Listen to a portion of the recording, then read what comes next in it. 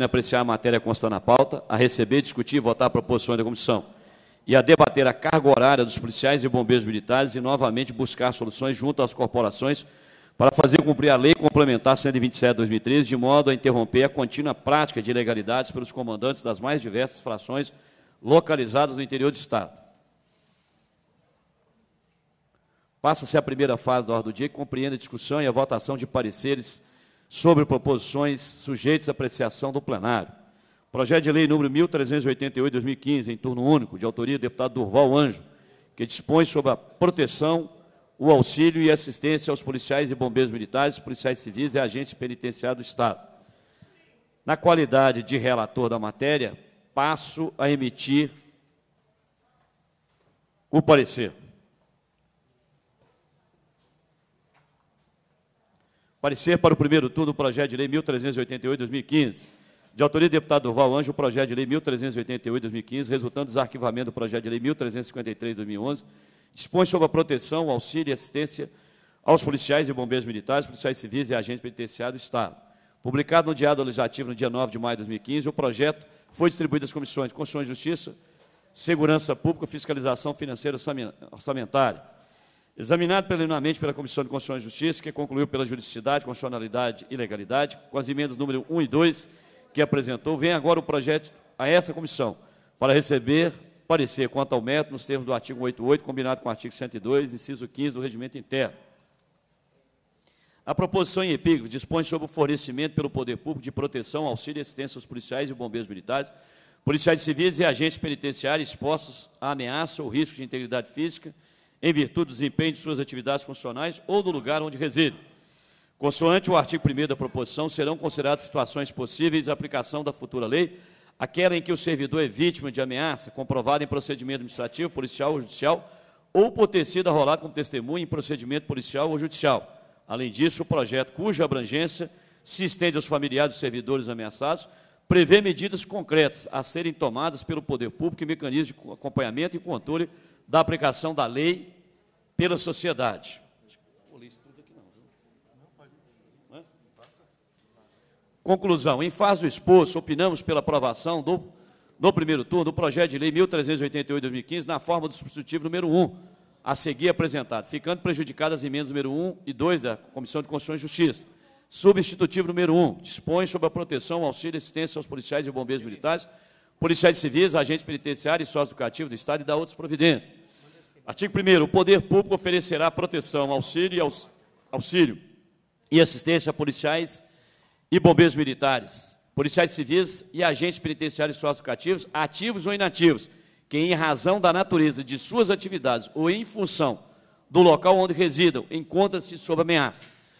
Inciso primeiro, comprovado em procedimento administrativo ou judicial em decorrência do exercício regular de sua função. Inciso 2, em razão de seu arrolamento como testemunha em procedimento administrativo judicial. Parágrafo único. A proteção, o auxílio e assistência de que trata esta lei estendem-se ao cônjuge ou companheiro, ascendente ou descendente de e dependentes que tenham convivência habitual com os profissionais a que se refere o CAPT, conforme o especificamente necessário em cada caso. Artigo 2 Na implementação do disposto nesta lei, o poder público assegurará, inciso 1 a segurança na residência, incluindo o controle de telecomunicações. 2 transferência de residência com locação de imóvel com período de até dois anos, prorrogável até a cessação dos motivos do deferimento da medida. Inciso 3. Escolta e segurança nos trajetos cotidianos, especialmente para fins de trabalho ou prestação de depoimentos. 4. Apoio para o cumprimento de obrigações civis e administrativas que exijam comparecimento pessoal. 5. Apoio à assistência social, médico e psicológico. 4 preservação da integridade, da identidade, da imagem e dos dados pessoais. 6. Suspensão temporária das atividades funcionais sem prejuízo dos respectivos vencimentos ou vantagem. 7. Sigilo na aplicação da medida de proteção e no procedimento administrativo. Artigo 3 O poder público promoverá as ações necessárias ao cumprimento disposto nessa lei, competindo-lhe, especialmente, decidir sobre os pedidos de proteção, auxílio e assistência, especificar os tipos de proteção, auxílio ou assistência pertinentes a cada caso. 3 determinar a suspensão das medidas de proteção, auxílio ou assistência para o beneficiário que tenha manifestado conduta incompatível com tais medidas ou não tenham a elas se adaptado. 4. Coordenar e uniformizar as ações de proteção, auxílio e assistência. 5. Coordenar a rede de proteção social entre entidades civis e militares. 6. Divulgar o conteúdo dessa lei entre os policiais e bombeiros militares, policiais civis, agentes penitenciários e agentes socioeducativos do Estado.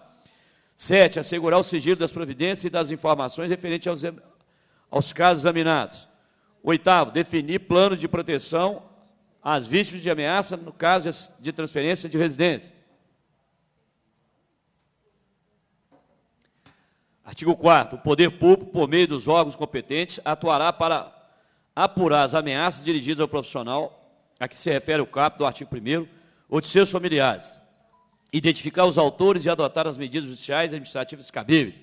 5. O profissional cujo local de moradia represente fator de risco, nos termos do disposto no caput do artigo 1 terá prioridade na aquisição de moradia em área livre, em área, de, área livre de risco, no âmbito do Programa Estadual de Construção de Unidades Habitacionais com a situação de risco ou ameaça se caso a situação de risco ou ameaça se prolongue por mais de quatro anos. Artigo 6 O poder público publicará semestralmente a lista dos policiais e bombeiros militares, policiais civis e agentes penitenciários e socioeducativos mortos em serviço ou em razão da atividade desempenhada. Parágrafo único. A lista que se refere ao caput será enviada semestralmente à Comissão de Segurança Pública da Assembleia Legislativa de Minas Gerais. Esta lei entra em vigor na data de sua publicação. Sala das Comissões, 27 de março de 2018. Esse é o parecer. A presidência passa a presidência dos trabalhos ao vice-presidente da comissão.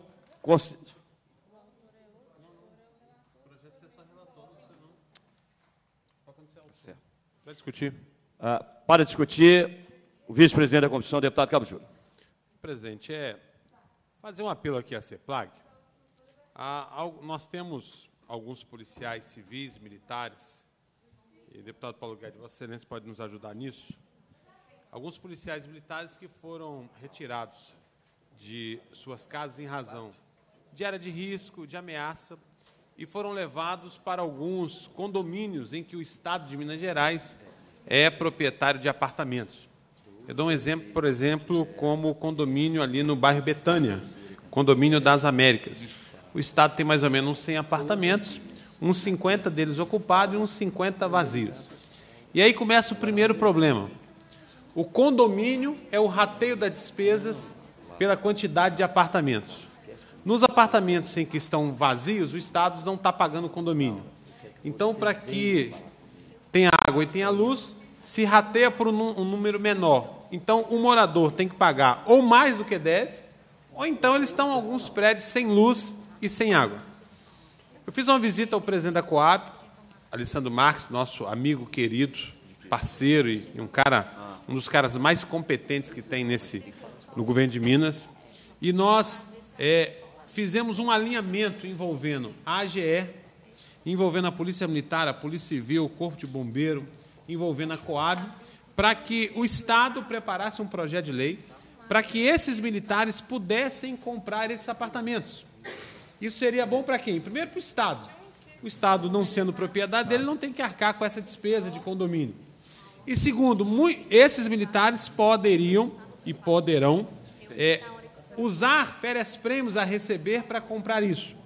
Nós estamos há seis meses fazendo esse alinhamento.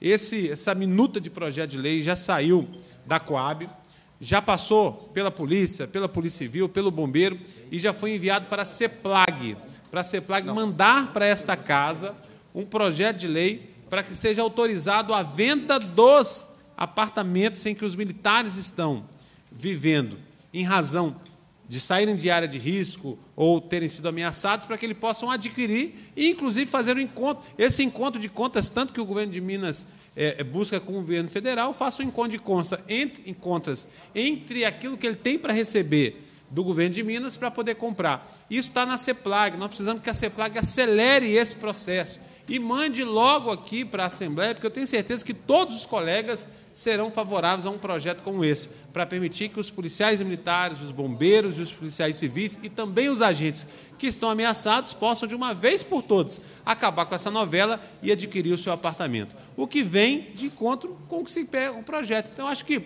é, viu, deputado Paulo Guedes, Vossa Excelência, como sendo um deputado que até pouco tempo era secretário, poderia nos ajudar muito a fazer com que a CEPLAG mande logo isso para cá, para casa. A gente junta aqui os deputados militares, as nossas bancadas, e faz um esforço, ok, deputado Santo Rodrigo, um esforço concentrado para que esse projeto possa ser votado. Por quê? Está acontecendo uma coisa muito louca. Nós fomos até a, a, a CEPLAG, perdão, a Coab, e ali participou eu, e eu participou representantes da Advocacia Geral do Estado. Para quê? Porque essa advocacia estava propondo, inclusive, o despejo de alguns militares. Então, cessou todo o despejo. Mas, de vez em quando, eu tenho que ligar para o comandante da polícia, porque algum comandante quer fazer o papel, às vezes, até do, da Advocacia Geral do Estado. Chama o militar lá na sala do comandante e fala assim: ó, eu te dou uma semana para você desocupar o imóvel, como se ele fosse juiz ou fosse até é, o próprio AGE, que é autoridade para propor isso. Então, para acabar com essa novela, a gente precisa que esse projeto chegue aqui logo,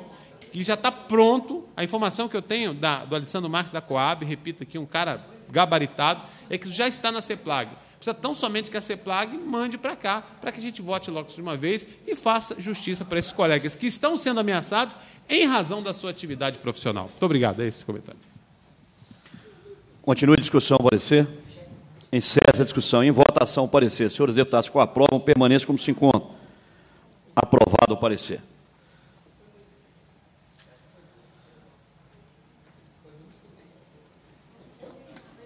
Passa-se a segunda fase da ordem do dia, que compreende a discussão e a votação de proposições uh, que dispensa apreciação do plenário.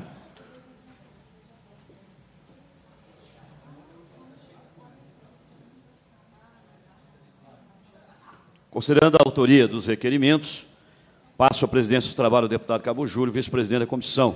Vossa Excelência tem a palavra para apresentar os, os requerimentos. É esse da segunda fase aqui.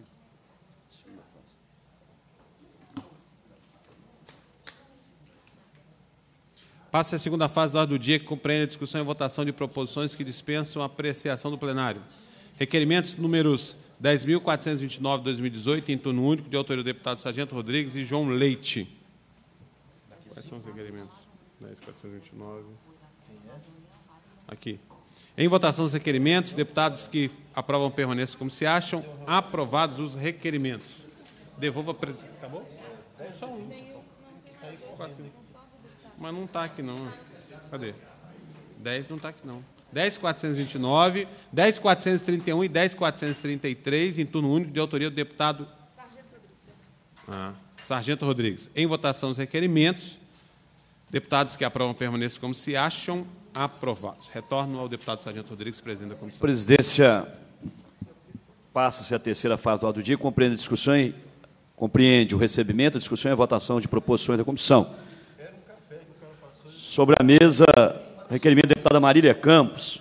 A deputada que subscreve requer de Vossa Excelência os termos regimentais, seja realizada audiência pública da Comissão de Segurança Pública para debater o projeto de lei 4813-2017, que institui a Polícia Estadual de Prevenção social à criminalidade. Em votação, requerimento. Senhores deputados que o aprovam, permaneçam como se encontram.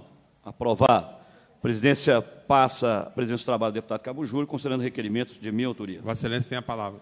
Primeiro requerimento, o deputado que subscreve requer de Vossa Excelência os termos regimentais seja realizada audiência pública para debater o teor do ofício que aportou a essa comissão, elaborado pela Associação Comunitária da região do bairro Jaraguá, de que o imóvel situado à rua Luiz Chagas Carvalho, número 40, no bairro Dona Clara, de Belo Horizonte, propriedade do Estado de Minas Gerais, que atualmente encontra-se vazio, poderia abrigar a delegacia da Polícia Civil, que possui atribuição de investigação dos crimes ocorridos na região.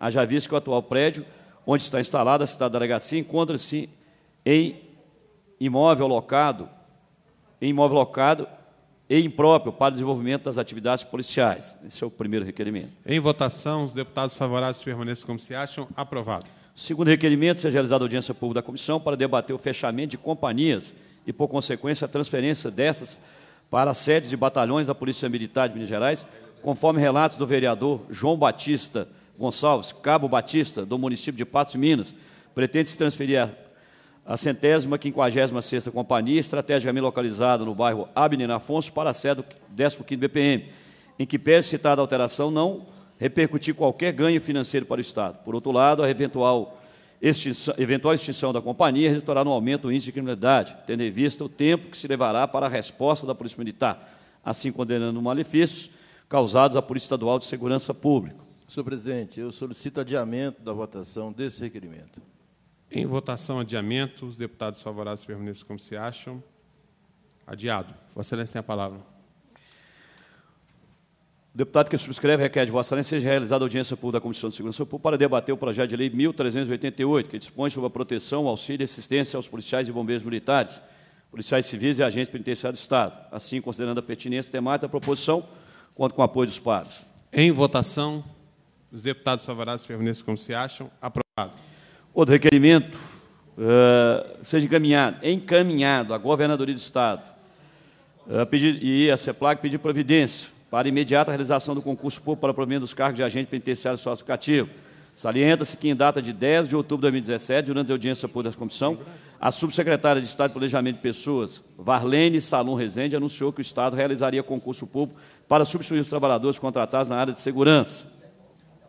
Em votação. Esse é, é pedido. É. É, Os deputados favoráveis permaneçam como se acham. Aprovado. Outro requerimento que seja encaminhado à Polícia Militar de Minas Gerais, Polícia Civil, pedir providência para que sejam realizadas rotineiramente operações Obrigado. conjuntas estratégicas de combate à criminalidade na região do município de Boteiros, no sul de Minas. Em Outro votação. requerimento. Desculpa. Os deputados seja... favoráveis permanecem. É o mesmo? É. O... Os deputados favoráveis permanecem como se acham. Aprovado.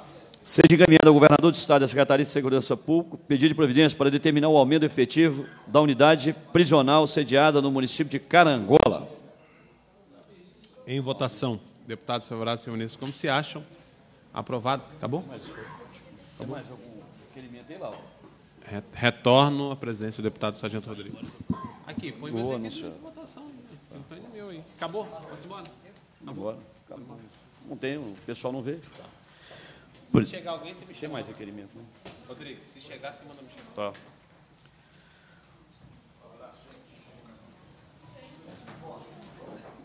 Presidência informa que estava prevista a audiência pública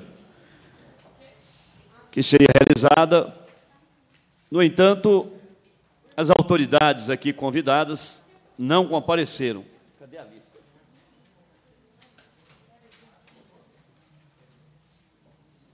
Foram convidados o coronel Herbert Figueiró de Lourdes, comandante-geral da Polícia Militar, o coronel Cláudio Roberto de Souza, comandante-geral do Corpo de Bombeiros de Minas Gerais, o coronel PM Oswaldo de Souza Marques, diretor de Recursos Humanos da Polícia Militar, o coronel BM Marcos José Tibúrcio Lima, diretor de Recursos Humanos do Corpo de Bombeiros Militar de Minas Gerais, o doutor Luiz Gustavo Gonçalves Ribeiro, promotor de justiça e coordenador da Promotoria de Defesa dos Direitos Humanos e contor externo de atividades policiais. O coronel PM Anderson Oliveira, comandante do policiamento da capital, primeira região.